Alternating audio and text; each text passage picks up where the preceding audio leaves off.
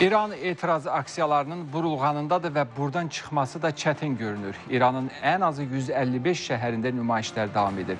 Molla rejiminin təhlükəsizlik qüvvələri amansızlıqlara, amansızlıqla üsyanı yatırmağa çalışıb, insanlara atəş açılır, canlar alınır. Baş verənlər beynəlxalq təşkilatları da ciddi narahat etməkdədir. Hətta bəzi Avropa ölkələrində İran səfirliklərini bağlayıb, diplomatları da qovmaq təklifini edənlər var.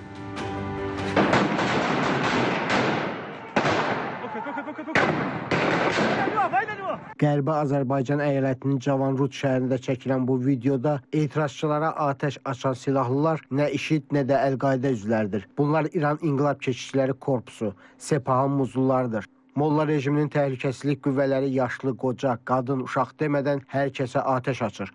Bütün bu zorakılıqlara göz yuman Tehran hakimiyyəti nəinki onları dayandırır, hətta onların vəhşiliklərinə haqq qazandırır, etirazçıları yenə də ölümlə hədələyir. Ötən gün Sepah qüvvələri Zahidan şəhərində 7 yaşlı Həsli Narui adlı qızcığazı başından güllələrək öldürüb.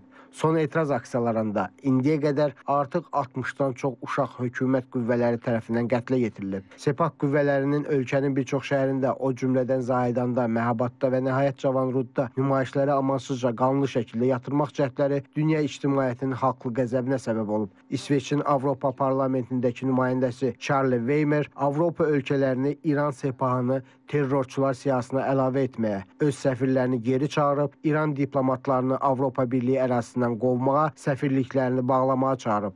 Weimer bildirib ki, Molla rejimi xalqın legitim təmsilçisi ola bilməz. BMT-nin İnsan Haqları üzrə Ali Komissarlığının sözçüsü Jeremy Lawrence İsveçrənin Cenevre şəhərində keçirdiyi mətbuat konfransında son günlər İranda etiraz aksiyaları nəticəsində ölənlərin sayının artması, o cümlədən iki uşağın ölümü və təhlükəsizlik qüvvələrinin reaksiyasının zorakı xarakter alması ölkədəki vəziyyətin böhranlı həddə çatdığını deyib. İranda davam edən son hadisələr artıq onu deməyə əsas verir ki, İran molla rejimi ölkəni vətəndaş müharibəsinə sürükləyib.